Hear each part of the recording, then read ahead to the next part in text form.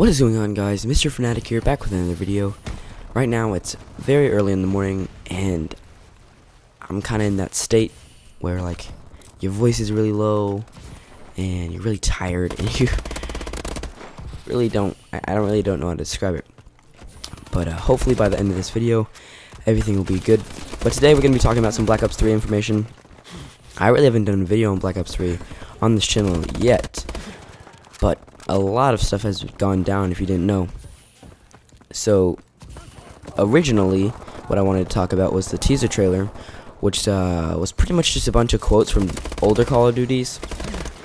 Like, I think they had, they had the Numbers Mason, of course, and they had one from Modern Warfare 2 campaign, and World at War, and then Black Ops 2. And then there was this last quote that no one knew what game it was from, so I think we're all thinking it's from Advanced Advanced Warfare. It's from Black Ops 3. Also, before I could make that video, which was supposed to be this weekend, a trailer came out Friday, which was yesterday for me, and it showed it was kind of a teaser trailer for Sunday, which is whenever the actual game trailer is coming out. It was like it was all IRL, no no actual gameplay. And it was talking about how robotics and technology is going to be taking over.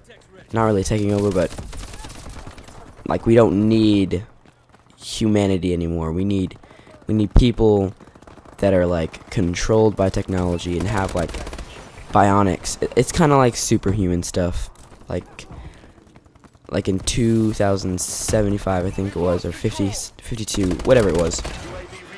They had people like getting injected with stuff to make them like superhuman. If you didn't watch that, go ahead and go watch that. It's on Call of Duty's channel.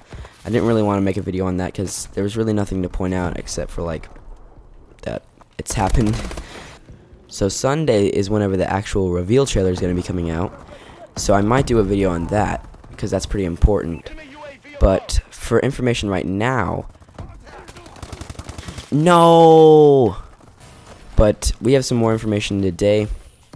came out from Charlie Intel. I don't really know runs Charlie Intel, but it seems like it's always accurate. So, so one of the biggest things that was said was that there's going to be a beta for the game.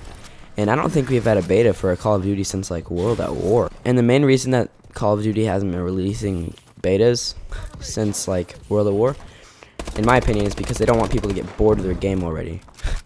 so, them releasing a beta means that they're pretty confident in their game. So another thing that they mentioned was that there's going to be a different movement system. Now, this doesn't mean that there's going to be exo jumping or double jumping, which, I mean, everyone else is kind of happy about. I'm not. I actually really like the exosuit. I know everyone's gonna be like, what? How do you like the exosuit? It's so bad. So my reasoning behind this is the only reason that you wouldn't like the exosuit is if you're bad. Like, if you have bad movement, you're not gonna like the exosuit. But the only way you can be good at movement is pretty much the only way is if you have a scuff. And most most pub players don't really have a scuff unless they're like pub stompers. It wasn't very vivid what they said. They said it, there was gonna be like dodging and stuff, like like this, that kind of stuff, or like that. There's not gonna be double jumping. They didn't say that, but it's kind of apparent that they wouldn't put that in. But even without the double jumping, I think the game's still going to be a bit faster than regular normal Call of Duty because I really don't think that Call of Duty would just go from an extremely fast-paced to ext an extremely slow-paced game. I know that developers don't usually copy from each other, but whenever there's such a such a revolutionary idea like this, I think there has to be some sort of take off of every Call of Duty that's going to change the movement system.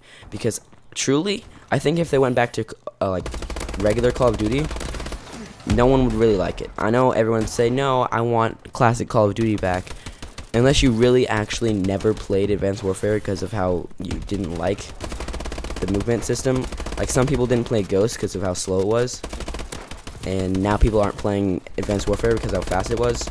Like, unless you didn't play Advanced Warfare, you would be pretty disappointed if you went back to original Call of Duty. I would at least. So hopefully we can get some sort of faster pace game rather than just like super slow pace, old Call of Duty Ghost kind of feel. Black Ops 2 was was regular Call of Duty, and that was pretty fast. I'm not gonna lie. I'm gonna give props, props to Treyarch. So if they can make a game without double jumping just as fast as a game with double jumping, I will be very satisfied. Because that's really all I care about is how fast the game is. I mean, I do like double jumping. It's a cool like thought, but some people don't like it, and if they take it out, I won't be that mad. So I need to find a way to. But you know, I'll get used to it. Also, I want to talk about how people are saying that they don't like this game. You'll see people that do YouTube and haven't played Call of Duty Ghost or Advanced Warfare and just played Black Ops 2 the entire two years just because they didn't like the two games.